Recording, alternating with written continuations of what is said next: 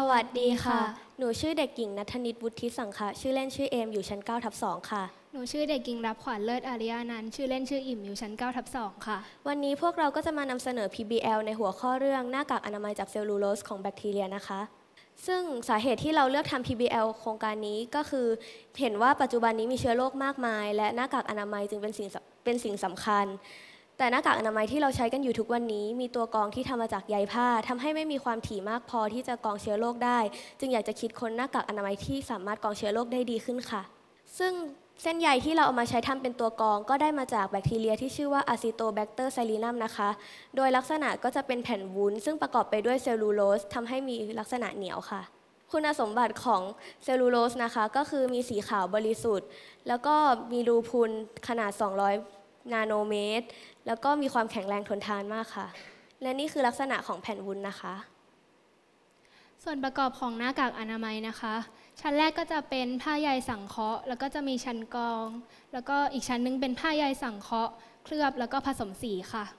กระบวนการทำงานของเรานะคะ เริ่มจากการหาข้อมูลวางแผนการทดลองค่ะเสร็จแล้วเราจะเริ่มทำการทดลองเลี้ยงเชื้อแบคทีเรียอะซิโตแบคเตอร์ไซลีนัมแล้วก็สรุปผลการทดลองค่ะ เราหาข้อมูลเกี่ยวกับเชื้อ Acetobacter xylinum จากสถาบันค้นคว้าและพัฒนาผลิตภัณฑ์อาหาร มหาวิทยาลัยเกษตรศาสตร์บางเขนกรุงเทพค่ะ ซึ่งวัสดุอุปกรณ์ที่เราใช้ในการทำ PBL ครั้งนี้นะคะ ก็จะมีกล่องพลาสติกใส ชาลิปตัน น้ำตาล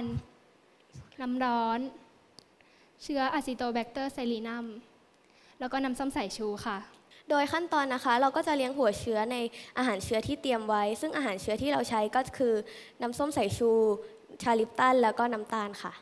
ผลจากการทดลองครั้งที่หนึ่งนะคะ เราได้แผ่นวุ้นทั้ง 3 กล่องค่ะ แต่ว่าแผ่นวุ้นเกิดการขึ้นราจากการตากค่ะ การทดลองครั้งที่สองนะคะ เราทำทั้งหมด 4 กล่องค่ะ ซึ่งกล่องแรก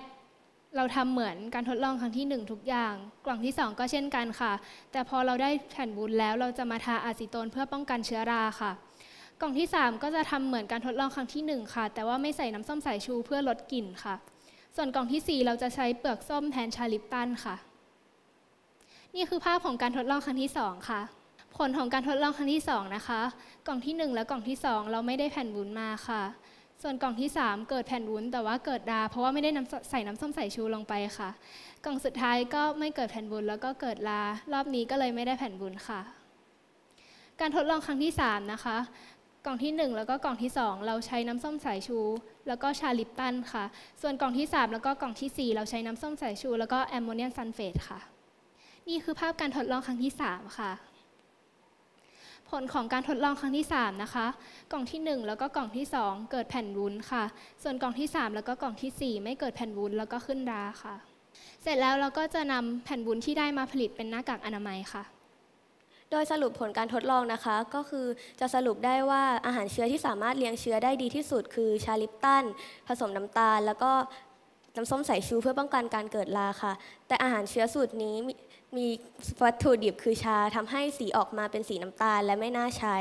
และมีกลิ่นจากน้ำส้มสายชูอยู่อ่อนๆค่ะ